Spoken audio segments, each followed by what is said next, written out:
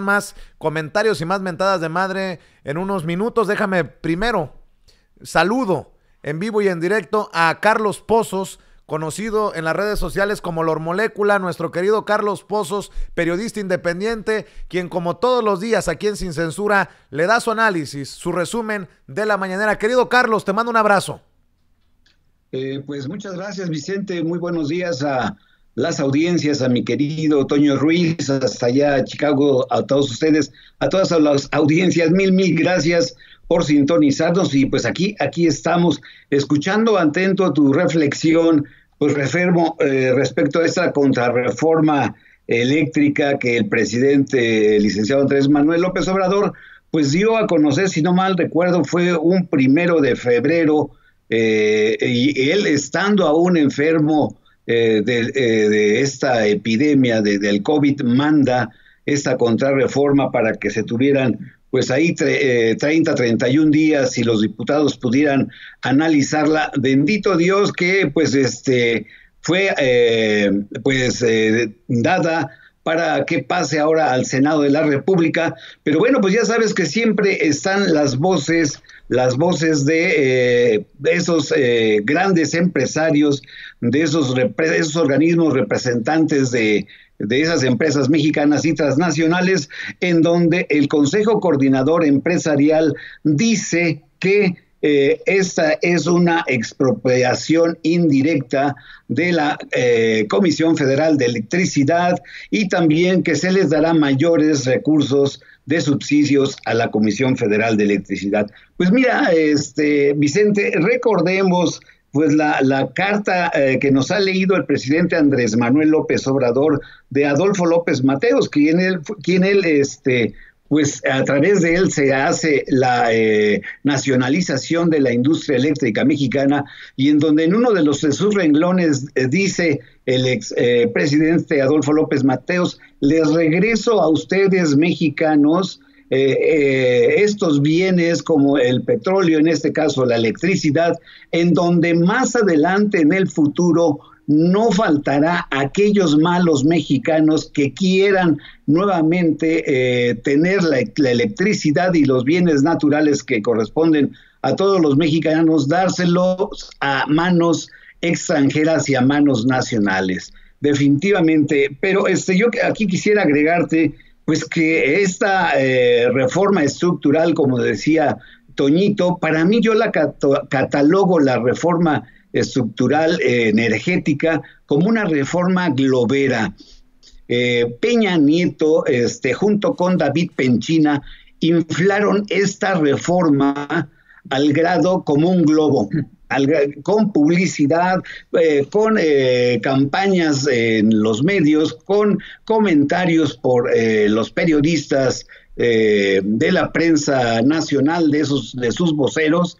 y dijeron pues que íbamos a tener eh, luz, que íbamos a tener eh, gasolinas baratas y nada de eso sucedió, solo inflaron esta reforma energética y ahora pues revienta, revienta por, como un globo. Y por eso te digo que para mí pues esta reforma energética como todas sus reformas que hicieron son reformas globeras porque al final de cuentas están reventando en esta administración de la cuarta transformación. Y finalmente comentarte en este tema energético, pues que eh, efectivamente eh, el gran negocio, el gran negocio para los neoliberales, pues eh, es el sector energético en donde funcionarios de, muy relacionados a Carlos Salinas de Gortari tenían el manejo de PMI Internacional de Petróleos Mexicanos para la venta y e importación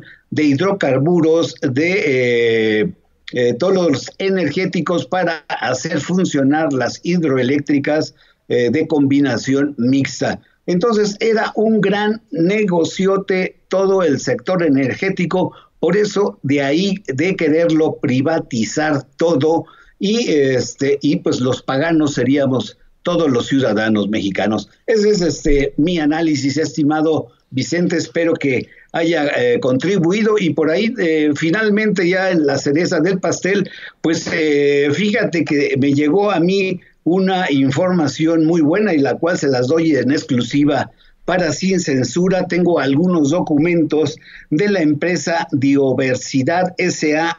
de CB, en donde pues se compromete a la generación de 3.100 eh, megawatts eh, a costo de 50 millones de pesos, pero solo para el beneficio del, del dueño de esta empresa. Imagínate, mi querido Vicente, que el dueño de esta empresa, pues nada más ni nada menos que es José Adolfo Murat Macías, eh, pues eh, familiar de Pepe Murat, el, actual eh, gobernador de Oaxaca, pero pues este contrato fue dado por asignación directa por el, el expresidente Enrique Peña Nieto y esta vigencia de este contrato tiene de 16 de agosto hasta el 2023 lo que está, estará viviendo del dinero que le esté dando la Comisión eh, Federal de Electricidad, contratos leoninos de amigos de Peña para este tipo de personajes muy ligados allá al estado de Oaxaca. Ese es mi comentario, estimado este, Vicente. Antes de que te vayas, querido eh, Carlos, a ver, en la mañanera, eh, Demián Duarte eh, de Sonora Power, un eh, colega independiente, le puso un llegue muy cabrón a Lili Telles. Y si bien el presidente Andrés Manuel López Obrador no menciona el nombre de Lili Telles, quien llega al Senado por Morena y se cambia al PAN, sí insiste. Dice que está de nosotros, básicamente, del pueblo, seguir presionando para que lo de la revocación de mandato no solamente aplique al presidente de la República, sino que aplique para legisladores, para presidentes municipales, para gobernadores, para todos, mi querido Carlos, ante la, el planteamiento de que Lili Telles debería de pedir licencia o renunciar por haber eh, traicionado a los que votaron por ella cuando pidió el voto por Morena, ¿no?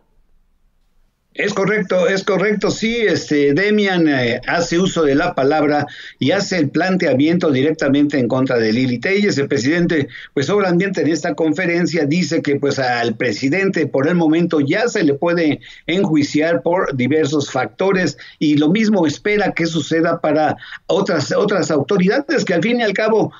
además de ser autoridades, son servidores públicos que reciben eh, eh, una devengación por su salario para eh, trabajar en favor de la ciudadanía por parte de nosotros definitivamente, este, y, hay que recordar que en estas próximas elecciones eh, muchos presidentes municipales quieren ser eh, reelegidos igual que diputados, pero pues la palabra la tendrá la ciudadanía, esa ciudadanía que cada vez está más avispada, que cada vez eh, escucha a, sin censura, que escucha a las benditas redes sociales, a estos medios de información que le están diciendo la verdad, la neta del planeta, y no le están diciendo medias verdades o amarillismo o negativismo, como sucede con la, radio tradicional, como sucede con eh, los medios impresos tradicionales o la televisión, que eh, pues ya han eh, tenido y van a tener una campaña permanente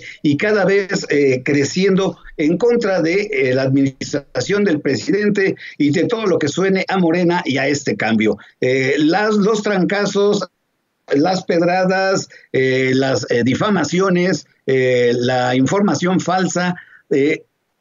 irá creciendo cada, más, cada día más para acercarnos a las elecciones intermedias de este año, estimado Vicente. ¿Con qué cerramos, querido Carlitos? pues cerramos brevemente, estimado Vicente, pues a mí lo que me llamó hoy con la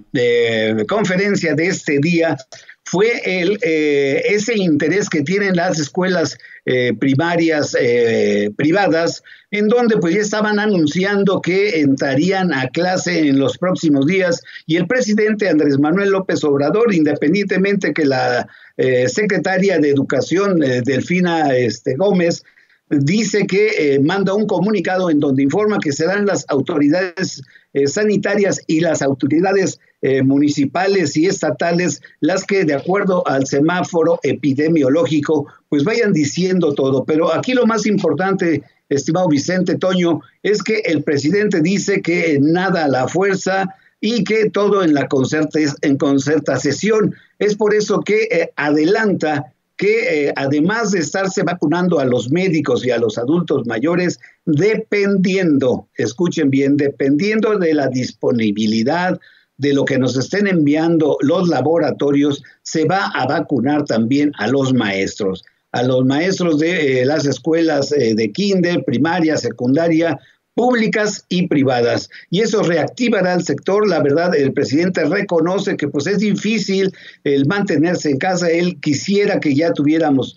todas esas vacunas, todos esos medicamentos, pues para que eh, toda la economía, eh, todos esos maestros, todos los alumnos pudiéramos regresar a nuestras actividades normales de las cuales vivíamos tan felices y ahora lo reconocemos que éramos más felices anteriormente. Querido Carlos, ¿por qué no cerramos invitando a la gente para que te apoye en redes sociales como siempre? En agradecimiento por esto que hacemos desde nuestra independencia, esta sociedad informativa, Carlos. Sí, señor, sí, mi querido Vicente, con muchísimo gusto. Pues eh, mis eh, redes sociales es en Face, Lord Molécula Oficial, en Instagram, Lord Molécula Oficial, en Twitter, arroba Lord Molecula Oficial en, en página de internet www Oficial y en YouTube Lord Molecula Oficial, eh, en donde pues estarán ahí mis reportes, sus menciones y hasta el día de hoy tenemos 92.527 suscriptores gracias a tu apoyo, gracias a esta alianza que con mucho gusto lo hago para todos ustedes. Querido Carlos, querido Lord, te mando un abrazo y que pases excelente día. Sí, señor. Gracias. Es Carlos Pozos, conocido en las redes sociales como Lord Molécula, hablando con nosotros sin censura.